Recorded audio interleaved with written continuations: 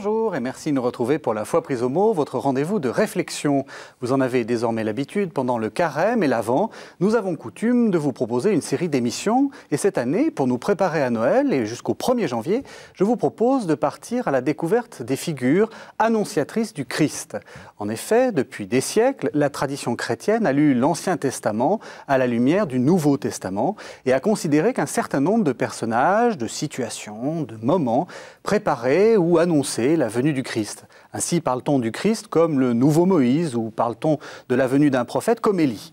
Pour commencer la série, Adam. Qui est Adam et que représente-t-il? Pourquoi parle-t-on du Christ comme nouvel Adam? Deux invités pour répondre à cette question. Père Olivier Artus, bonjour. Bonjour. Vous êtes prêtre du diocèse de Sens-Auxerre. Vous êtes également professeur d'Ancien Testament à l'Institut catholique de Paris et membre de la commission biblique pontificale. Et puis, tout au long de cette série, frère Philippe Lefebvre, bonjour. Bonjour. Alors, vous allez nous accompagner. Vous êtes euh, dominicain et vous êtes, vous aussi, professeur d'Ancien Testament à l'Université de Fribourg, en Suisse. Alors, on va donc essayer de, comprendre un peu pourquoi on parle du Christ comme nouvel Adam, mais on va aussi surtout essayer de comprendre qui est Adam, essayer de voir un peu qui est Adam.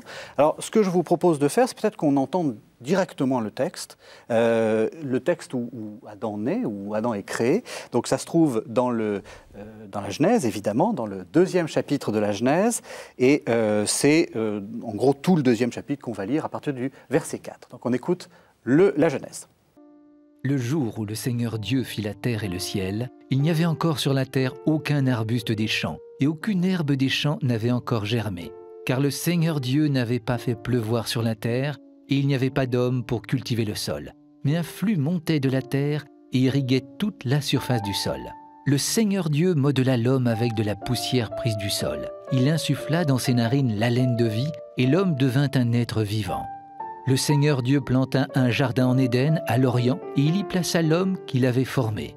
Le Seigneur Dieu fit germer du sol tout arbre d'aspect attrayant et bon à manger, l'arbre de vie au milieu du jardin, et l'arbre de la connaissance de ce qui est bon ou mauvais. Un fleuve sortait d'Éden pour irriguer le jardin. De là, il se partageait pour former quatre bras. L'un d'eux s'appelait Pichon. C'est lui qui entoure tout le pays de Haouila où se trouve l'or. Et l'or de ce pays est bon, ainsi que le bdélium et la pierre d'onyx. Le deuxième fleuve s'appelait Guion. C'est lui qui entoure tout le pays de Couche. Le troisième fleuve s'appelait Tigre. Il coule à l'orient d'Assour. Le quatrième fleuve, c'était l'Euphrate. Le Seigneur Dieu prit l'homme et l'établit dans le jardin d'Éden pour cultiver le sol et le garder. Le Seigneur Dieu prescrivit à l'homme, Tu pourras manger de tout arbre du jardin, mais tu ne mangeras pas de l'arbre de la connaissance de ce qui est bon ou mauvais, car du jour où tu en mangeras, tu devras mourir. Le Seigneur Dieu dit, Il n'est pas bon pour l'homme d'être seul. Je veux lui faire une aide qui lui soit accordée. Le Seigneur Dieu modela du sol toute bête des champs et tout oiseau du ciel qui l'amena à l'homme pour voir comment il les désignerait. Tout ce que désigna l'homme avait pour nom être vivant. L'homme désigna par leur nom tout bétail, tout oiseau du ciel et toute bête des champs. Mais pour lui-même, l'homme ne trouva pas l'aide qui lui soit accordée. Le Seigneur Dieu fit tomber dans une torpeur l'homme qui s'endormit. Il prit l'une de ses côtes et referma les chairs à sa place le Seigneur Dieu transforma la côte qu'il avait prise à l'homme en une femme qu'il lui amena. L'homme s'écria, Voici cette fois l'os de mes os et la chair de ma chair. Celle-ci, on l'appellera femme, car c'est de l'homme qu'elle a été prise. Aussi l'homme laisse-t-il son père et sa mère pour s'attacher à sa femme. Ils deviennent une seule chair. Tous deux étaient nus, l'homme et sa femme, sans se faire mutuellement honte. Voilà, donc un, texte magnifique. Alors, il faut expliquer qu'il y a deux récits. Hein. Ça, ça fait partie des choses à dire euh, tout de suite. Euh, ça, on a, on a, donc pris le, deuxième récit. Euh, il y a des différences vraiment importantes entre les deux? Il y a des grosses différences et Adam, enfin le mot Adam fait son entrée au verset 26 du chapitre 1. Mhm. Et cet Adam au chapitre 1 peut être traduit par l'humain en réalité, un humain masculin et féminin. Mhm. C'est assez curieux d'ailleurs que le, le, verbe utilisé pour, pour, décrire cette formation, cette création d'Adam, faisons l'homme à notre image, c'est un pluriel. Et c'est la seule fois que l'on va voir ce pluriel. Et donc évidemment, on pourrait réfléchir à, ce à quoi ça correspond, au minimum. Donc euh, il y a peut-être de la pluralité en Dieu, de la diversité en Dieu, dont répond euh, la diversité masculin et féminin dans l'acte de création d'Adam. Mhm. Donc ce récit va s'achever avec le, septième jour, au, au, chapitre 2, au verset 3. Et puis on a un verset très intéressant qui est le verset 4, euh, qui est très très bien construit parce que ce texte est, très soigné. Alors la traduction là que j'ai sous les yeux, telle est la naissance du ciel et de la terre lors de leur formation, le jour où le Seigneur Dieu fit la terre et le ciel, donc ciel, terre, terre, ciel. C'est donc une figure symétrique comme il y en a beaucoup dans la littérature juive euh, de l'époque perse. Et au fond, ce verset 4 nous dit, vous qui avez lu le premier récit euh, de création, donc, euh, avec la mise en place du personnage d'Adam, n'oubliez pas de lire celui que nous venons d'entendre. Autrement dit, vous ne trouverez le sens euh, plénier, euh, théologique, du texte qu'en mettant en relation ces deux récits, dont le premier décrit Dieu comme un, créateur souverain de l'univers qui va créer par sa parole toute puissante, parole mettant en ordre un monde par une série de binômes, haut, bas, sec, mouillé, jour, nuit, masculin, féminin. Mhm. Et le deuxième récit, mais je pense qu'on va en reparler, voilà, un Dieu tout à coup beaucoup plus proche euh, de ce, ce, à qui il donne le jour, euh, Adam, au point qu'il va, euh, au cours du récit, se mettre à l'écoute d'Adam. L'homme désigna par leur nom tout bétail, tout oiseau du ciel, avons-nous entendu, mais l'homme ne trouva pas l'aide qui lui soit accordée. Et alors tout se passe comme si ce Dieu tout-puissant au début du récit, faisant d'Adam dans un premier temps celui qui va travailler dans le jardin, mhm. Le voici maintenant à l'écoute du manque d'Adam, et donc euh, le résultat de cette écoute du manque va être la formation euh, d'Isha, euh, la femme. Et donc on voit ici un Dieu proche de l'homme, un Dieu fabricateur aussi de l'homme par, je dirais, un travail d'artisan, et un Dieu qui enfin disparaît du récit à la fin. Et Dieu n'apparaît plus au verset 23, 24 et 25. Donc voilà deux visions du monde assez différentes exposées dans deux chapitres que nous sommes invités à lire ensemble. C'est intéressant ce que dit le père Artus, parce que euh, on a sans doute entendu qu'il y avait deux récits, parce que c'était deux, états du texte qu'on avait essayé de, mettre ensemble euh, un peu maladroitement, euh, et qu'en fait, il fallait en choisir un ou l'autre en fonction de l'époque à laquelle on, se, on, se, référait. Et là, on voit que, au contraire, il y a approfondissement. Le fait qu'il y ait deux récits, c'est mieux. Oui, c'est mieux. Et, je trouve qu'il y a aussi quelque chose d'une mise en scène. Le, premier chapitre, c'est un plan à distance. On, a une vue panoramique sur le monde qui est en train d'être créé en sept jours. Les humains euh, à la fin, le sixième jour. Et puis, on va avoir un zoom, une focalisation au chapitre 2. On va regarder ce couple d'un peu plus près, et puis Dieu aussi euh, qui, s'approche et qui entre euh, dans, dans la, l'intimité ou l'amitié de ces humains. Euh, donc il y a plan à distance, plan rapproché. On retrouve ça euh, assez régulièrement dans la Bible. Le début de l'évangile de Saint Matthieu, 42 générations jusqu'au Christ. D'un coup, on a une vue panoramique de l'histoire d'Israël depuis Abraham. Donc on est assez loin, on contemple ça des siècles. Et puis on fait un zoom sur un homme, Joseph, à la fin de cette généalogie, et sa femme, euh, Marie, euh, avec une relation problématique. Et c'est un peu le même principe. Euh, donc c'est fait avec beaucoup d'art. Mhm. Et puis je voudrais ajouter une petite chose aussi. ce sont des, récits, des points de vue assez différents. Mais il y a quand même des, des, fils rouges ou des points communs. Par exemple, la première chose que Dieu dit aux humains donc à cet Adam humain, hein, masculin et féminin, comme l'a dit le père Artus, euh, le premier mot qu'il dit euh, dans le premier chapitre de la Genèse, au verset 28, c'est fructifier et multiplier. Hein, ce qu'on traduit un peu tristement par croisser et multipliez-vous. Mm. Fructifier, porter du fruit. Donc les humains ont quelque chose à voir avec les arbres à fruits euh, qui, ont déjà été créés le troisième jour, mais qu'on va retrouver surtout dans le chapitre 2 et le chapitre 3. On, l'a entendu, Adam est placé dans un jardin magnifique avec des arbres qui, portent du fruit. Donc il y a aussi des, des liens peut-être plus cachés, mais entre ces deux chapitres. Alors, on, va revenir à ce, texte-là, mais euh, le Père Lefebvre vient de dire euh, Adam, c'est euh, homme et femme. Et alors, je ne peux pas ne pas vous poser la question, parce que c'est une question que, beaucoup de, téléspectateurs doivent se, poser. il y a quelque chose d'historique dans ce récit parce qu'un homme, homme et femme, enfin un être humain, homme et femme, c'est un, un peu bizarre. Je suis obligé de répondre à la question qui est en fait complexe, euh, malgré la brièveté de son énonciation, en, plusieurs phases. Mhm.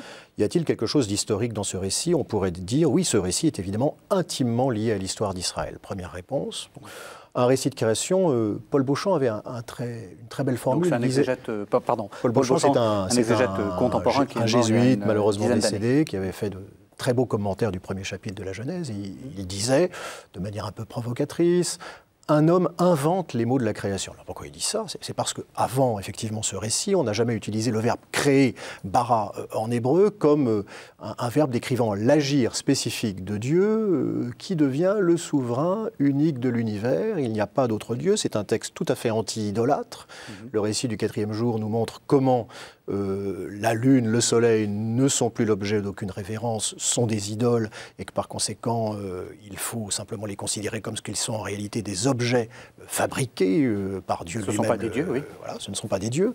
Et donc, au fond, cette, cette évolution théologique, elle est très repérable dans l'histoire d'Israël. Elle se passe pendant l'exil, à Babylone, peut-être au début de la période post-exilique, on est au VIe siècle. Voilà.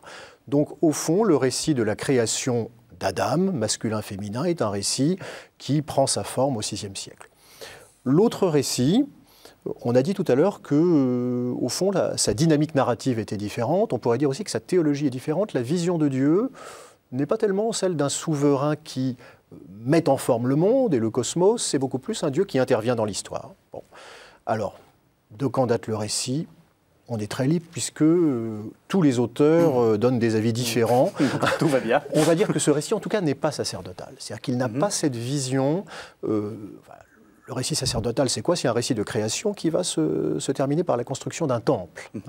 Et donc, cette création va être sinistrée par la prolifération de, la faute des hommes euh, qui mène au déluge. Hein. et donc le déluge, c'est un récit de décréation. C'est-à-dire que autant la création séparait euh, le mouillé et le sec, autant le déluge va recréer une confusion entre le sec et le mouillé, et seul émerge finalement euh, l'arche avec Noé. Et donc Noé va être le point de départ d'une reconstruction des relations entre l'homme et Dieu. cette reconstruction sera plénière lorsque le temple sera construit, et donc le lieu finalement de la juste négociation du rapport de Dieu à l'homme, ce sera le lieu des sacrifices du temple offerts par des prêtres. Donc Israël, peuple sacerdotal, avec un, groupe sacerdotal en, son sein.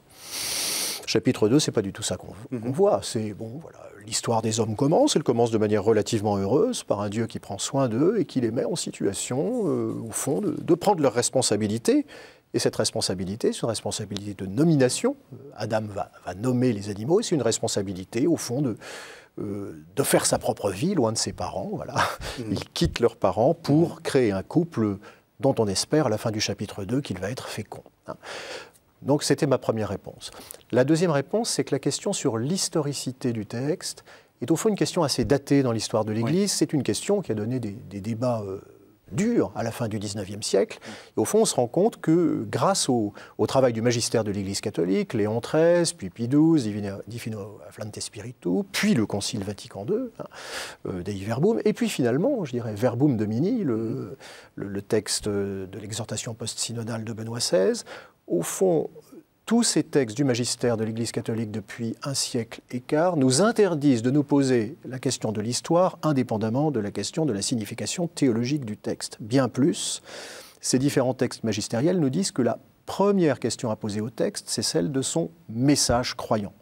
Et au fond, avant de considérer Genèse 1 ou Genèse 2 comme des livres d'histoire, nous sommes invités à considérer ces, récits comme des credos, comme des énoncés donc de la foi d'Israël, dont on aura bien remarqué qu'ils ouvrent aujourd'hui euh, la Bible tout entière. Autrement dit, quand je lis la Bible, hein, et le Père Lefebvre parlait tout à l'heure du Nouveau Testament, je suis invité à la, lire jusqu'au bout sous les espèces d'une théologie de la création qui, je dirais, en donne le principe.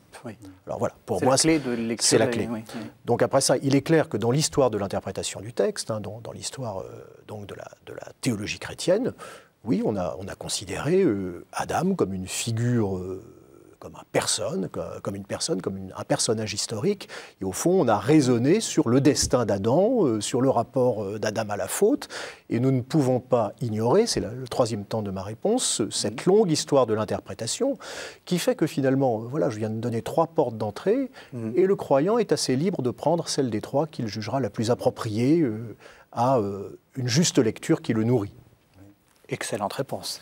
Alors, on va peut-être rentrer dans le texte, non? Oui. Vous avez quelque chose à rajouter? Je voudrais dire aussi que la, je crois que la Bible elle-même donne des éléments de réponse à ça. C'est-à-dire Adam et sa femme, c'est un peu une figure de lancement et qui vont s'actualiser dans beaucoup d'Adam et beaucoup d'Ève. Euh, hein, je pense dans la Genèse, par exemple, quand euh, Dieu euh, vient rencontrer Abraham et Sarah, on a un vieil Adam, une vieille Ève. Euh, c'est plus le, magnifique jardin du début, c'est quelques chênes, une oasis dans le désert. Et cet Adam-là, Abraham et Sarah, sa femme, vont écouter Dieu.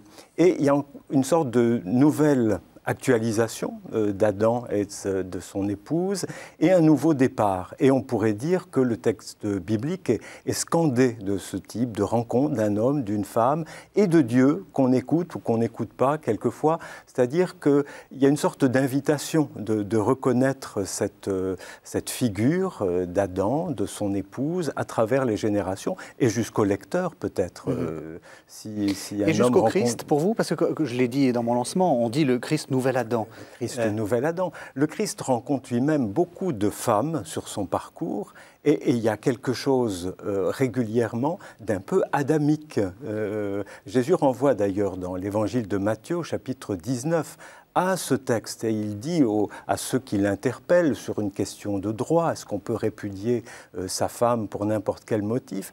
Il leur dit, mais n'avez-vous pas lu ce qu'a fait le Créateur au commencement? Comme s'il disait, mais vous savez, les tout premiers chapitres de la Bible, c'est d'une actualité brûlante et qui vous concerne. Si vous voulez savoir qui est Adam, peut-être vivez son mystère, en particulier avec vos femmes. dont acte. Alors on va rentrer dans le, dans le texte. Euh, ce qui est très frappant, c'est que euh, justement le, cette fameuse création d'Adam arrive un peu, euh, un peu tardivement. Il y, a, tout, un, tout un long passage où on vous raconte le jardin, et le pichonne, le bdélium, etc. à quoi ça sert cette mise en scène? Pourquoi, pourquoi ce jardin? Alors, Là aussi, je dirais que le, texte s'inspire peut-être d'un certain nombre de traditions du Proche-Orient ancien. On voit bien d'ailleurs que le, texte biblique va les subvertir, c'est-à-dire que c'est comme nous vis-à-vis du vocabulaire informatique. Nous sommes plongés dans l'informatique, nous utilisons le vocabulaire informatique euh, à longueur de journée sans être informaticien. De la même manière, il faut toujours nous imaginer euh, voilà, le, peuple juif, un petit peuple quand même au Proche-Orient ancien, la province de Yéhoud ou Juda, un petit royaume, une petite province dans l'Empire perse, et donc évidemment, cette province est sous l'influence euh, culturelle des grandes puissances de l'époque. Et ces grandes puissances ont des, ont des traditions littéraires, ont des mythes qui justement sont des cosmogonies, c'est-à-dire des mythes qui donnent une explication des origines du monde et du sens de la vie. Et donc lorsque l'on écrit un texte, on va d'une certaine manière utiliser les images de ces grandes traditions du Proche-Orient ancien, mais pour en faire autre chose. Alors là, le, début du chapitre 2, à partir du verset 5, ça commence comme le récit babylonien de la création. Pas mhm. deux, pas deux, pas deux. Il n'y avait pas un certain nombre d'éléments, et donc l'œuvre de Dieu va être de combler ce manque. Alors effectivement, je suis assez d'accord avec vous. Que vient faire là le, le jardin? Au verset 10 à 14, euh, en préparant l'émission, je me disais, je regardais les notes là, de la Bible que j'ai en main, on dit... Il de la TOB. La TOB, il y, a, quatre fleuves, alors je vois le Guyonne, fleuve inconnu à distinguer de la source du Guyonne. Pas si sûr, la source du Guyonne, c'est à Jérusalem, et puis on voit qu'on a le pays de Couche avec un deuxième fleuve, donc là c'est le bord de la Nubie, le Soudan mhm. aujourd'hui, mhm. puis on a le Tigre et l'Euphrate, la Mésopotamie, mais si je, si je dessine les lignes qui relient ces lieux, ça correspond exactement aux frontières de l'Empire perse. Donc au fond, le jardin... Euh, d'Éden correspond aux frontières de l'Empire perse et ensuite euh, le titre donné à ce jardin, un paradis, on sait que dans la civilisation perse, il y a des paradis qui sont des jardins royaux, luxuriants.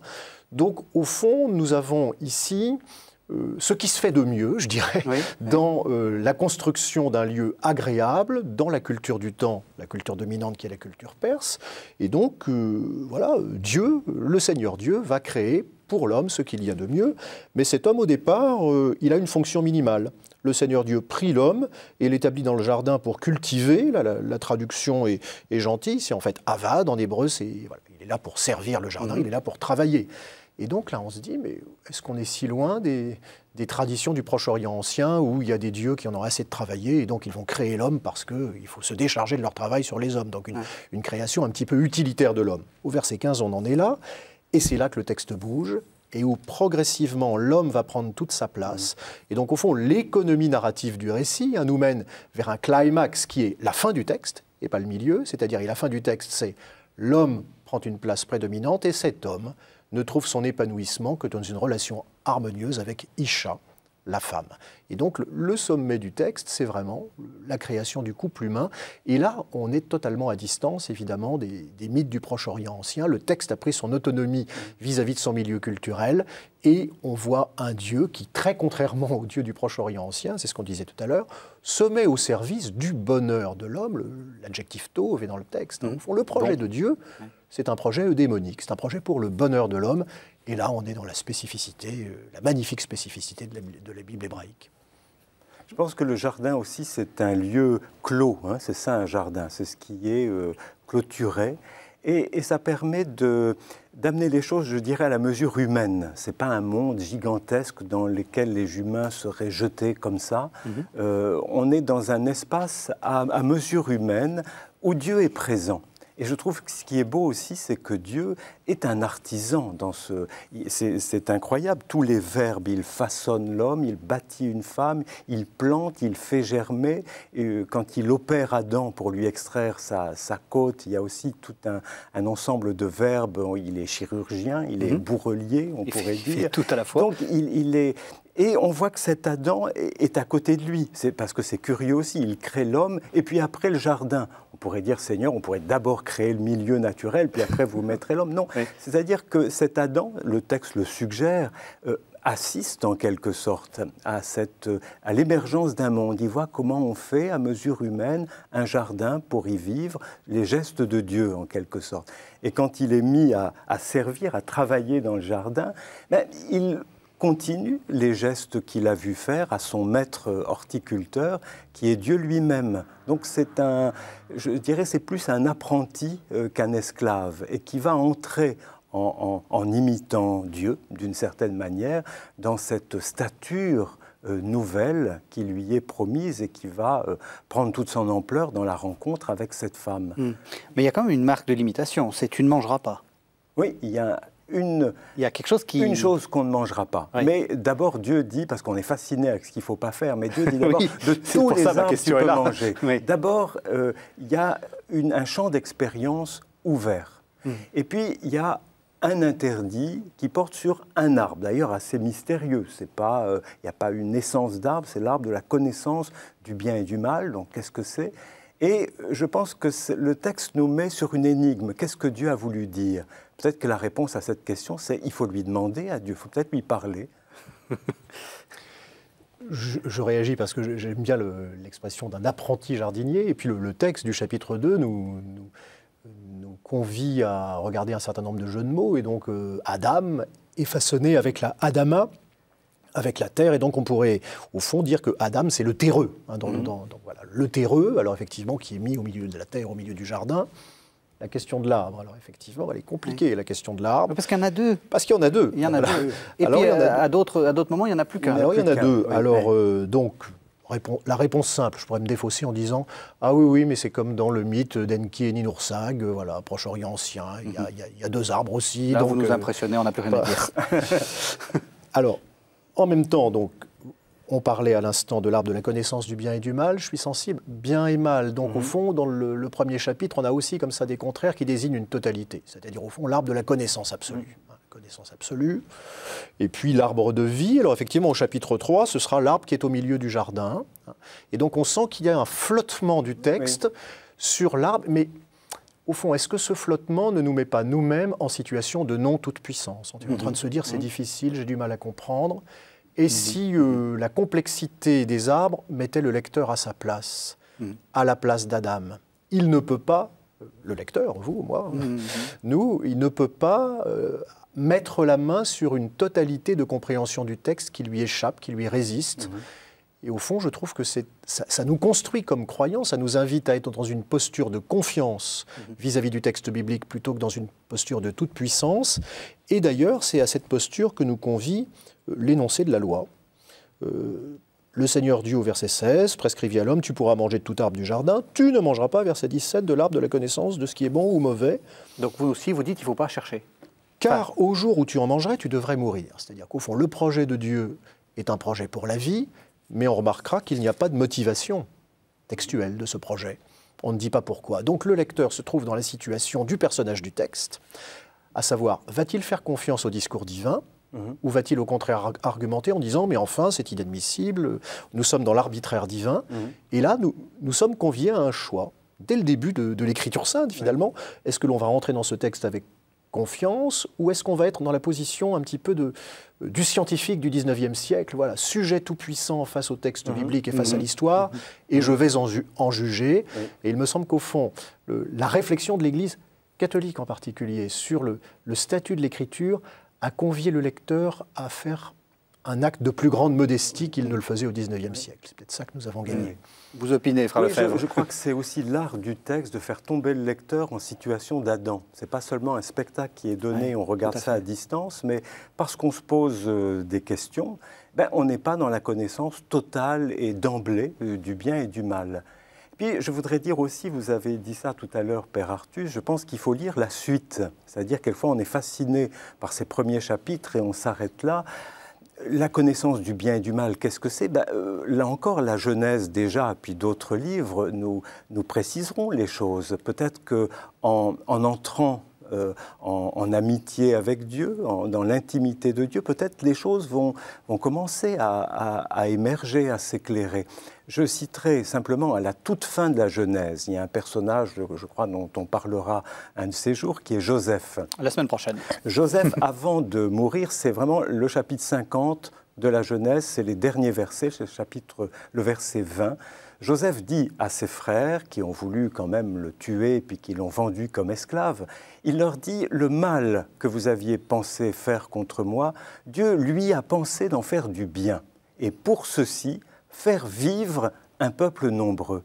Mais la Genèse se termine par un homme qui est donc entré dans la connaissance du bien et du mal parce qu'il l'a vécu avec Dieu toute sa vie, et peut-être la connaissance de la vie, parce qu'il y a aussi un arbre de vie. Qu'est-ce que c'est que le bien que, Dieu euh, façonne, même avec une situation de mal que certains avaient pensé euh, mettre au point, eh bien ce bien, c'est faire vivre, faire vivre un peuple nombreux.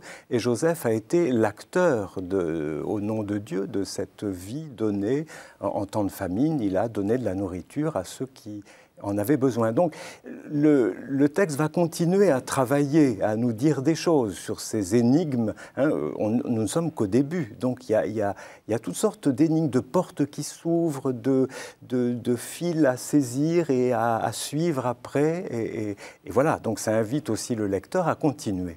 Alors on va continuer et euh, on va continuer avec Ève. Alors là, pardon, je vais, jouer au lecteur masculin tout puissant euh, en disant, euh, elle est en position un peu d'infériorité, cette, brave Ève. Tout d'un coup, on se dit, bah voilà, Adam, il est un peu tout seul. Si on crée Ève. Oui, mais en même temps, au fond, le, le bonheur d'Adam ne passe que par la mise au jour d'Ève et Adam à ce moment-là change de nom. Et nous savons que dans, dans le texte biblique, les changements de, mhm. nomination sont, sont des, moments tout à fait décisifs de la, de la compréhension des personnages par eux-mêmes. On, peut penser au passage du Yabok où euh, voilà, Jacob devient Israël, etc. Mhm. Donc ici, euh, Adam devient Ish. Mhm. Euh, donc l'homme et, donc Adam devient Ish et Isha. Hein, voilà. Et donc tout se passe bien, je dirais, dans cet équilibre absolu du masculin et du féminin, Ish, Isha, donc homme et femme, au verset 23, au verset 24. Et c'est André Wena, je crois que vous allez le rencontrer dans une prochaine émission. La semaine prochaine également. Qui, a fait remarquer, mais de manière très euh, juste, que le verset 25 marquait déjà une rupture de cet équilibre. Donc tous deux étaient nus, Ish et Isha, tout se passe bien. Adam et son Isha. Autrement dit, au verset 25, tout se passe comme si Ish voulait récupérer le monopole de l'humanité en se faisant appeler Adam. Donc au fond, l'équilibre, à mon avis, est atteint vraiment dans un sommet du texte qui est les versets 23 et 24, et le, verset 25 nous laisse penser que ce chapitre 2 assez heureux ne sera pas le dernier mot de l'histoire. Et il y a un autre élément qui nous y fait penser, s'ils ils sont tous les deux nus, Arumim. Et il y a un jeu de mots en hébreu avec Arum, l'astuce du serpent. Donc au fond, la nudité des acteurs du texte appelle le, malheureux chapitre 3 où l'harmonie au fond du chapitre 2 va être rompue. Et déjà, euh, mais on voit bien que ce, cette rupture de l'harmonie, euh, d'une certaine manière, n'est pas le fait de Dieu. Hein, et que, au contraire, le projet divin, euh, par degrés successifs, arrive à un équilibre où la dignité du féminin équivaut absolument à la dignité du masculin. Et au fond, ils n'adviennent à eux-mêmes l'un et l'autre que dans la relation qu'ils instaurent avec euh, l'autre. Vous êtes d'accord? C'est pas un, texte monstrueusement patriarcal? Euh, non, je ne pense pas du tout. Et, elle n'est pas encore Ève. Ève, ce sera le nom que Adam d'ailleurs lui donnera au chapitre 3. Pour l'instant, c'est une femme. Euh, et je pense qu'on a signalé tout à l'heure que dans le chapitre 1, le premier récit, il y avait un, Dieu crée l'humain, mâle et femelle, ou masculin et féminin. Ici, on passe à un nouveau registre, en quelque sorte, de cette humanité dans la rencontre d'elle et de lui dans la parole, euh, c'est-à-dire les, humains deviennent en fait acteurs ou collaborateurs, euh, je dirais, avec Dieu, de ce qu'ils sont. Euh, on pourrait dire le premier récit, Dieu fait les choses, voilà, les humains sont créés, masculin, féminin. Est-ce que, euh, semble dire le chapitre 2, vous avez envie euh, d'entrer dans un nouveau registre? Donc c'est très intéressant, ça veut dire que l'humain n'est pas créé clé en main tout de suite, euh, comme ça. Il faut que dans la rencontre, dans la parole échangée, on passe à un autre registre qui est ici femme, le premier nommé, mhm. et homme. Isha et Ish. Et puis on a beaucoup dit cette femme qui vient en second, est-ce que c'est pas un peu dévalorisant? Dans la Bible, ce qui vient en second, c'est toujours mieux. C'est toujours, il y a une petite, euh, un petit goût d'accomplissement. Euh, Jésus après Jean-Baptiste, on pourrait dire, c'est dommage, il, est que le petit cadet. Euh, attention, il faut faire attention. il ira loin. Et puis cette femme, elle n'est pas une sorte de comparse comme ça parallèle. Elle est tirée de, je dirais, du centre de gravité d'Adam. quand même, ça, cette euh, c'est un peu son, centre. Donc c'est quelque chose qu'il porte en lui et qui est mis devant lui désormais. il y a quelque chose de très beau, me, semble-t-il, et de très, de très décisif. Euh, il y a des dieux qui créent quelquefois un petit tas de boue, euh, ça deviendra un monsieur, et un autre petit tas de boue avec la poussière du sol, ça sera une dame. là, on a un tout autre scénario qui fait que cette femme, euh, c'est le premier être créé avec de la chair. Euh, l'homme a été créé avec la poussière du sol, comme les animaux, par exemple. Mm. Euh, premier être né de la chair. Donc, moi, je dirais, si on, joue au petit jeu de la dévalorisation, c'est peut-être l'homme qui est dévalorisé. Mais je ne pense pas que le texte joue avec mm. des plus et des moins. Il montre une, une égalité tout en, disant il y a une différence et, chacun a quelque chose à, à dire et à manifester. Mm-hmm. Oui, j'abonde dans votre sens. Et au fond, il me semble que ces deux chapitres aussi euh, nous plongent dans un climat de douceur. Hein. Mmh, je, reviens à Paul Beauchamp, qui est mmh. décidément une référence. Pour le, premier chapitre, il disait ça, il disait la domination de Dieu au premier chapitre de la Genèse est une domination paradoxale par la douceur, puisqu'il donne un monde aux humains, et en particulier des animaux, mais ils ont l'interdiction de les consommer. Et au fond, l'homme à l'image de Dieu est un homme qui va maîtriser le réel en mettant en œuvre la même douceur. Et il me semble que la finale du chapitre 2, à laquelle nous arrivons, tranche avec les mythes du Proche-Orient ancien par la douceur précisément des relations qui existent mhm. entre Dieu et les humains et entre l'homme et la femme entre eux. Et mhm. donc, évidemment, la suite du texte, ce texte appelle une suite, euh, montre une dégradation de ce climat de douceur, mais qui est euh, l'horizon que nous ne devons jamais perdre de vue, alors dans la lecture de la Bible, mais aussi dans la vie euh, de foi, tout simplement. Eh bien, vous me faites une excellente transition, puisque nous allons maintenant lire le chapitre 3, les versets 14-19. C'est justement la dégradation de la douceur. Donc, on, on connaît l'histoire. Ils ont finalement pris du fruit défendu. Et voilà ce qui se passe. Le Seigneur dit au serpent Parce que tu as fait cela, tu seras maudit entre tous les bestiaux et toutes les bêtes des champs. Tu marcheras sur ton ventre et tu mangeras de la poussière tous les jours de ta vie. Je mettrai l'hostilité entre toi et la femme, entre ta descendance et sa descendance. Celle-ci te meurtrira à la tête, et toi tu la meurtriras au talon. Il dit à la femme, Je ferai qu'enceinte, tu sois dans de grandes souffrances. C'est péniblement que tu enfanteras des fils. Ton désir te poussera vers ton homme, et lui te dominera. Il dit à Adam, parce que tu as écouté la voix de ta femme, et que tu as mangé de l'arbre dont je t'avais formellement prescrit de ne pas manger, le sol sera maudit à cause de toi.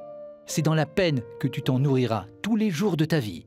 Il fera germer pour toi l'épine et le chardon, et tu mangeras l'herbe des champs.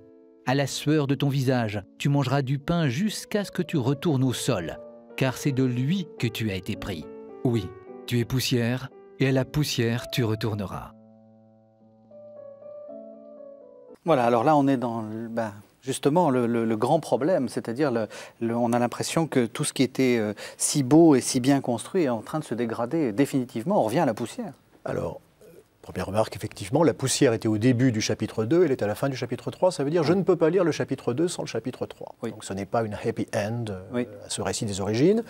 Alors, que dire de ce chapitre 3 Il y a une, explication historique hein, qui a été avancée par certains auteurs, mais qui est assez intéressante. Hein. C'est au fond de, de, souligner le parallélisme entre le destin d'Adam à la fin du chapitre 3 et le destin euh, des Israélites à la fin du dernier chapitre du second livre des rois. Hein. Mm-hmm.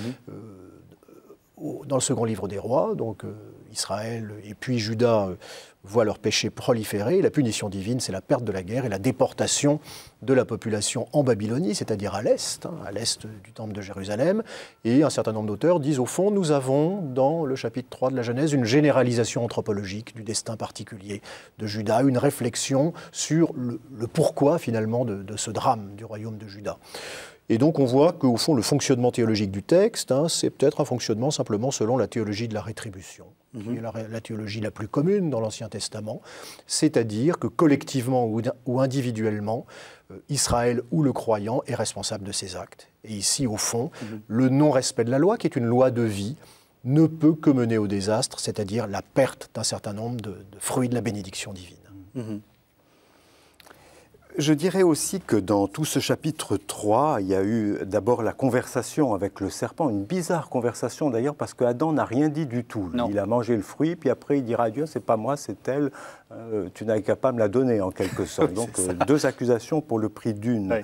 Donc au chapitre 3, Dieu n'a pas du tout été invité dans la conversation. C'est très curieux. Le serpent parle de Dieu, euh, il sait apparemment ce que Dieu euh, sait, mm. mais on a envie de dire, mais comment le sais-tu? Est-ce que tu peux te présenter, cher serpent? Tu parles comme ça. Et, donc une conversation très bizarre où Dieu n'a pas été invité. Donc je dirais que Dieu prend acte. Quand je ne suis pas invité, voilà ce qui se passe. La terre donne plus son fruit, les humains sont dans des relations de pouvoir les uns avec les autres, et tout mm. devient assez triste et assez sec. Mhm. Et donc, ce qu'on appelle la malédiction, donc cette situation que Dieu impose, il me semble toujours que dans la Bible, une malédiction, c'est un lieu d'attente. Là où vous n'avez pas attendu Dieu, là où vous ne l'avez pas invité, eh bien, euh, on vous met dans cette situation et un jour ou l'autre, il faudra l'inviter. Euh, si on regarde ici, malédiction de la terre qui va euh, faire qu'Adam euh, arrachera la terre avec beaucoup, à la terre avec beaucoup de difficultés son pain. Si vous continuez à lire, car il faut toujours continuer à lire, au chapitre 14 de la Genèse, un mystérieux personnage rencontre Abraham, c'est le roi Melchisédek. Et le roi Melchisédek apporte quoi à Abraham sans qu'Abraham ait demandé quoi que ce soit? Il apporte du pain et du vin avec une bénédiction. Donc ici, malédiction qui fait que le pain sera difficile à, trouver, mais si vous invitez Dieu dans cette situation difficile, sèche, rigoureuse, eh bien vous allez voir, des choses vont se passer. Melchisédek roi mystérieux, envoyé par Dieu peut-être, euh, noue conversation avec Abraham et lui apporte ces produits de la terre euh, qui, que Dieu a dit être difficiles à obtenir. Eh bien là, ils sont donnés avec une bénédiction. Donc là encore, Dieu, je dirais, pose une situation. Voilà ce qui se passe quand je ne suis pas invité dans mhm. les domaines de votre vie. Mais il ne tient qu'à vous de m'y inviter. Et là, vous verrez, des choses vont se passer. Est-ce qu'on peut dire que c'est exactement ce qui va se passer avec Jésus? Parce que je, tiens quand même à revenir à, mon, concept de préfigure, de préfiguration. Euh, la malédiction d'Adam appelle, euh, appelle la venue de, Jésus, bienheureuse faute qui nous valut un si grand rédempteur Mais Dieu dit ici que la terre ne donnera plus que des, ronces et, des, des chardons et, des épines. Euh, sous la couronne d'épines, il y a le Fils de Dieu, un, lieu de malédiction, le signe de la malédiction, l'épine, eh bien, euh, est sur la tête du Fils de Dieu, en quelque sorte. Je, vais rapidement, mais, pour dire, je, je crois que Jésus vient habiter, en fait, tous ces lieux de, malédiction, de difficultés à vivre, de, de, de, jeux de pouvoir où on ne s'en sort pas, pour dire non, il y a une autre logique que le Créateur a voulu dès le commencement, celle que nous avons vue en Genèse 2, avec cette douceur, cette rencontre, cette parole échangée, c'est toujours possible. Et ça, c'est la bénédiction. Dieu a commencé par bénir. Hein, au, au, chapitre 1 de la Genèse, chaque jour, chaque objet de création fait l'objet d'une bénédiction. Donc il est venu remettre en quelque sorte, réhabiter nos situations humaines avec cette logique de la bénédiction, de la présence, de la parole. Alors, pour euh, venir à, Jésus, je, passerai volontiers par les autres chapitres du récit des origines. C'est-à-dire mhm. qu'au fond, si on limitait la lecture aux 11 premiers chapitres de la Genèse, cette lecture est absolument désespérante, mhm. puisqu'on a le, don gratuit euh, de Dieu qui est énoncé aux deux premiers chapitres, le refus d'Adam, le meurtre d'Abel, puis la prolifération du crime, le déluge, et le refus de laisser Dieu être Dieu en construisant une tour de Babel qui va jusque dans Hachamaïm, jusque dans les cieux, c'est-à-dire l'homme veut se faire Dieu en habitant la résidence de Dieu. Mmh. C'est Donc échec total mmh. du don de Dieu et en même temps, euh, on a l'impression que la première faute va avoir comme conséquence une prolifération de la faute, mais euh, presque sans limite. Mmh. Évidemment, le, contre-type de, ce que de ce que je suis en train de dire, c'est Abraham, puisque au fond, un don concret qui appelle la réponse de l'homme ne débouche pas sur cette réponse, et au contraire, Abraham, lui, se met en route, non pas sur un don concret, mais sur une parole de mhm. promesse, qui est la promesse d'une terre et d'une descendance. Mais en tout cas, pour revenir aux 11 premiers chapitres, une faute initiale, au chapitre 3, qui semble généraliser la faute. Et ça, il me semble que cette perspective, nous la retrouvons au chapitre 5 de la lettre aux Romains. Absolument, oui. Contrairement à ce que fait le texte de l'Ancien Testament, au chapitre 5 de la lettre aux Romains, on a un discours de quasi-causalité mhm. entre la faute initiale d'Adam et, au fond, la généralisation de la faute euh, à l'ensemble de l'espèce humaine, qui appelle évidemment une rédemption, et cette rédemption va être euh, liée à, l'agir non pas d'Abraham, mais d'un autre contre-type euh, qui est le Christ lui-même. Et donc nous avons ces deux figures, type contre type. Mhm. Adam qui déclenche les catastrophes des 11 premiers chapitres de la Genèse et plus généralement qui révèle une condition humaine malheureuse et le Christ, qui est le premier personnage, qui effectivement accomplit un certain nombre de prémices de l'Ancien Testament. Il me semble que Abraham, Jacob, les patriarches sont quand même des, pierres d'attente intéressantes, mais au fond, l'accomplissement de ces figures d'attente, le terme étant un terme technique du Nouveau Testament, l'accomplissement réside bien dans la figure du Christ, qui par son agir va, de manière plénière et définitive, résoudre le problème de la faute d'Adam, pour le dire comme ça. Mhm.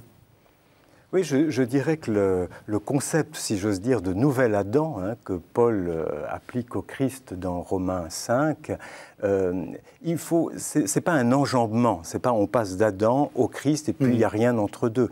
Non, le Christ comme nouvel Adam, je dirais, euh, apporte porte à son accomplissement beaucoup de nouveaux Adams euh, déjà dans la Genèse. Noé qui écoute Dieu, qui assure le salut quand même d'une partie de l'humanité, les siens et puis les animaux. Il a quelque chose d'un Adam qui écoute Dieu et qui a envie de comme on dit, marcher avec lui. Hein. Mhm. L'expression est dans Genèse 6. Et puis Abraham et Sarah, et puis il y a beaucoup de personnages comme ça qui, qui renouvelle en quelque sorte, qui assume l'enjeu euh, d'Adam et, qui l'accepte cette fois-ci. Oui, on va écouter Dieu, oui, on va marcher avec lui, oui, on va, tout en tâtonnant, hein, en étant fragile, en étant toujours fasciné par d'autres solutions, mhm. on va quand même euh, aller dans, la voie que Dieu ouvre et, et peut-être c'est une voie de vie. Donc le Christ nouvel Adam, il accomplit tous les nouveaux Adams qui, depuis le premier, euh, ici et là sur la terre, euh, ont, émergé en quelque mhm. sorte. Alors on arrive à la, fin de l'émission et peut-être qu'on pourrait un peu ressaisir tout ce que, tout ce que vous avez dit. Et je voudrais repartir euh, sur ce que vous venez de dire à propos de, de Romain. Finalement, cet Adam, ça, signifie quoi? Je veux dire, parce que euh, la, compréhension simple, euh, qui est la compréhension paulinienne, en disant il y a la faute d'un seul et euh, comment dire l'œuvre d'un seul, et donc la faute d'un seul est, corrigée par l'œuvre d'un seul. Mais si on, raisonne de manière plus collective, cette histoire d'Adam, ça nous dit quoi? Ça nous dit que euh, l'humanité est pécheresse par, euh, par nature, que nous avons toujours envie d'aller euh, prendre des pommes sur les arbres là où il ne faudrait pas. voilà. comment est-ce que vous le, vous le, reformuleriez globalement?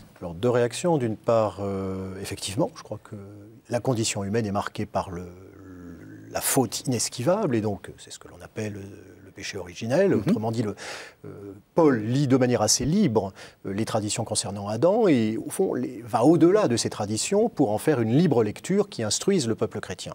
Et les, pères de l'Église vont se situer dans, ce même mouvement de liberté de lecture pour euh, formuler un dogme qui essaye de, théoriser à la fois le drame de la condition humaine et la merveille de la libération par le Christ. C'est ma deuxième remarque. C'est mhm. la liberté de la lecture de Paul. Paul assume totalement sa condition juive. Voilà, il est dans cette mhm, culture, il l'assume. Et en même temps, à l'intérieur de cette culture, il a vraiment une condition de lecteur des traditions d'Israël qui euh, est un lecteur libre, et cette liberté, c'est le Christ qui la lui donne. Et d'une mhm. certaine manière, il fait dire au récit des origines de Genèse 1, 2, 3 que nous avons, que nous avons lu, euh, il leur fait dire des éléments qui n'étaient pas présupposés par le texte, mais qu'il peut dire dans la liberté que lui donne la révélation du Christ, qui porte au fond ce texte à sa plénitude. Mhm. Autrement dit, la lecture de Paul n'était en rien présupposée par Genèse 1 à 3, mhm. et en même temps, cette lecture de Paul, c'est la rencontre mhm. de la tradition d'Israël et euh, de la geste du Christ qui permet de renouveler au fond la compréhension du texte et surtout de, libérer le lecteur du drame dans lequel l'emprisonnaient euh, les onze premiers chapitres de la Genèse. Alors soyons libres. Quelle, lecture vous feriez-vous globalement de cette histoire d'Adam? Euh, est-ce que vous seriez paulinien ou est-ce que... Je dirais il y a quelque chose d'une anti-fatalité, c'est-à-dire peut-être que tout le monde est marqué par le péché, mais regardez bien autour de vous, et la Bible est là pour nous le dire, tout le monde n'a pas la même manière de vivre cette situation. Il y en a qui s'accommodent très bien de leur péché, et il y en a non, et, hmm. c'est un drame et c'est une tragédie. Quelquefois, on a envie de faire autre chose et, l'histoire commence. Et, l'histoire, le, miracle de, ceux qui disent non, je n'ai pas envie de vivre euh, de, cette manière, d'écouter le, serpent, cette logique du serpent, cette logique triste et, sans relation du serpent. J'ai envie de faire autre chose. Je ne sais pas comment faire, mais et c'est toute la beauté des histoires. Abraham, il tâtonne avec Sarah. Euh, ils font pas toujours ce qu'il faut. Abraham euh, fait un enfant à la servante de Sarah et Dieu revient disant non, c'est avec ta femme que... Bon, oh, ça ne veut pas dire que, vous voyez, quand on, quand on met sa foi en Dieu, qu'on est tout de suite un monsieur ou une madame je sais tout, impeccable. Non, on tâtonne et il se passe quelque chose. Il se passe miraculeusement quelque chose. Et je pense que la Bible, c'est nous dire cette situation de... Alors on a dit péché originel, c'est des mots qui peuvent faire peur. Mhm. ben, précisément, c'est pas de la fatalité. Vous allez voir que dans cette situation où on est marqué, fragilisé.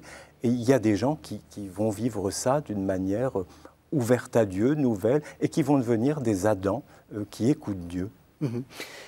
Est-ce qu'on peut savoir ce que voulait dire le, celui qui a écrit? Euh, Puisque c'est vraiment ma dernière question. nous, on lit avec, avec le Christ. Mais quand on n'a pas cette clé de lecture, qu'est-ce qu'on fait? Au moins une chose, c'est que définitivement la Bible hébraïque commence par deux chapitres qui consigne l'énoncé du don de Dieu. La faute n'inaugure pas le texte, et autrement dit, quoi qu'il en soit de, je dirais, de, la catastrophe de la vie humaine, il faut toujours commencer le récit par euh, l'énoncé du don de Dieu dans la vie d'Israël, dans la vie de l'humanité, dans ma propre vie. Le récit de ma propre vie commence par reconnaître le don qu'est cette vie en elle-même, quoi qu'il en soit des accidents de l'histoire. Et au fond, le fait que tout le texte biblique soit préfacé par ces deux chapitres euh, nous invite à placer le don, et donc autrement dit le, projet bon de Dieu, avant tout autre énoncé historique. Mhm. Dernière question, lorsque on va donc on va faire toute la série, hein, on va faire Adam, euh, on va faire euh, Joseph la semaine prochaine, etc. Pour vous, Adam, dans, les, préfigures du Christ, vous le situez comment? bah, Nécessairement en premier, mais avec cette idée qu'il va être, euh, il va avoir de multiples visages avec Joseph, avec David, avec euh, bien d'autres. En quelque sorte, c'est une figure euh, inaugurale, une porte d'entrée. Moi, je le vois beaucoup dans l'évangile de Matthieu, avec Joseph qui est endormi, sa femme, est-ce qu'elle est vraiment pour lui? Et oui, Dieu va lui dire par l'intermédiaire d'un ange, elle est pour toi cette femme. C'est la scène inaugurale, Adam endormi, et Dieu lui amène une femme. Donc, euh, à tout moment, le visage d'Adam s'éclaire à nouveau, les enjeux de sa vie sont assumés par les uns et par les autres. Et, pour Joseph et Marie, pour moi, c'est une sorte de, oui, de nouveau départ, en quelque sorte, pour accueillir euh, le Rédempteur. Merci. Alors peut-être quelques, quelques livres. Père Olivier Artus, vous avez écrit un livre qui s'appelle Loi et justice dans la littérature du Proche-Orient ancien, qui est paru aux éditions Arasovitz. Quelques mots? C'est simple, je ne l'ai pas écrit, je l'ai édité en y écrivant quelques articles. C'est le, produit de trois colloques, euh, l'Institut catholique de Paris, colloques internationaux, sur la notion de loi et justice. Dans le Proche-Orient ancien et également évidemment dans la Bible hébraïque, où l'on retrouve évidemment la question de, des influences de la culture du Proche-Orient sur la Bible, mais également l'affirmation de la spécificité théologique de cette Bible dans son milieu. Donc c'est un peu technique. Euh, c'est un peu technique. Si on veut vous retrouver de manière moins technique, vous, vous êtes aussi l'auteur d'un cahier évangile, euh, en quelques mots là aussi. Sur le, sur le Pentateuque, cette fois-ci sur la Torah, donc histoire et théologie, à la fois l'histoire de ce texte et également les grandes lignes théologiques qui montrent également comment ce texte permet à Israël de construire son unité. Ce texte est finalement le, ciment d'une communauté qui reconnaît son identité croyante dans la production de, ce texte. Et sinon, euh, Frère Lefebvre, alors, comme vous allez être là pendant plusieurs semaines, on va le faire une fois, hein, vos livres, et puis après, peut-être qu'on en, on en reparlera moins. Euh, vous, vous, avez écrit un livre aux éditions Salvator, Joseph, l'éloquence d'un taciturne. Alors, il ne faut pas se tromper, c'est pas le Joseph dont on va parler la semaine prochaine. c'est le Joseph des évangiles. Mhm. Euh, voilà. Et le sous-titre explique ce qu'est ce livre, c'est Enquête sur l'époux de Marie, à la lumière de l'Ancien Testament. Donc comment euh, ce qu'on dit de Joseph dans les évangiles résonne avec l'Ancien Testament, avec Joseph, avec Adam, avec Moïse aussi, et, d'autres encore. Et sinon, euh, dans une très jolie collection qui s'appelle Ce que dit la Bible, vous, vous avez choisi euh, de dire ce que dit la Bible sur le vin. Aux éditions Nouvelle Cité. Exactement. Voilà. Merci à tous les deux. Vous pouvez retrouver cette émission sur www.ktotv.com. Merci de nous avoir suivis.